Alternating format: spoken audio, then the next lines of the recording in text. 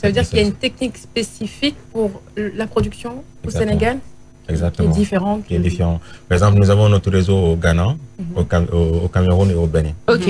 En allant au, au Ghana, par exemple, pour installer la, la culture, Mhm. on a changé notre technique de production. Mhm. Parce que c'est- l'équipement était différent. D'accord. C'est pareil au Bénin, il faut changer. Enfin, vous vous adaptez, quoi. Selon Vous le pays et le climat, vous vous adaptez euh, dans, Exactement. la- dans les techniques. Ok. Parce que c'est Mais, différent mais- d'un mais pays à de toute façon, la fraise, elle a besoin de soleil, de toute façon.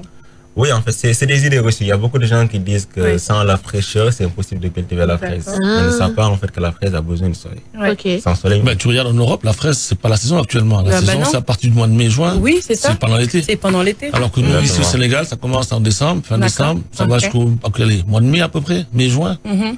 D'ailleurs, c'est ce qui trompe certaines personnes. Parce Mm. qu'en fait, au début, ils pensaient que pour cultiver la fraise, il Mhm. il faut utiliser des serres. Mm.